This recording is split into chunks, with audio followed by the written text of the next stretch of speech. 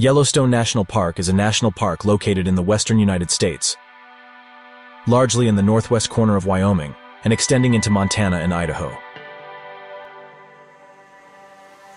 It was established by the 42nd U.S. Congress with the Yellowstone National Park Protection Act and signed into law by President Ulysses S. Grant on March 1, 1872.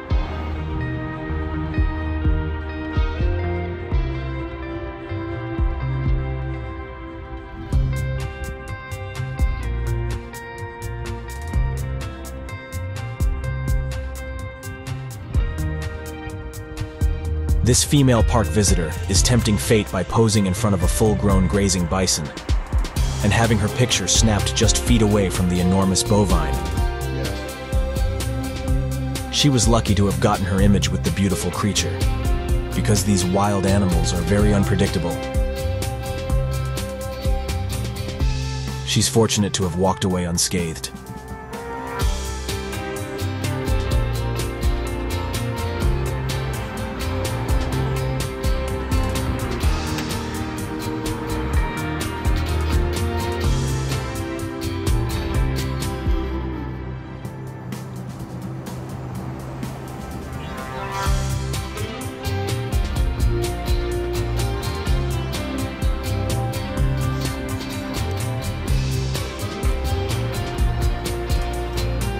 The calving season for bison is from mid-April to late July, with new calves increasing herd sizes in Yellowstone and Grand Teton National Parks.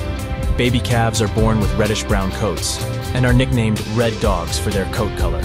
But in a few months, their coat will transform into the typical dark brown color as their horns and humps start to appear.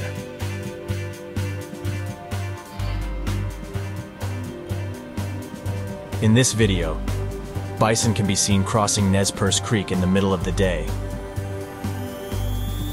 To the right, look closely and you'll spot a red dog swimming behind its mother. At one point, the mother stops and seems to shield and guide the calf to the shore.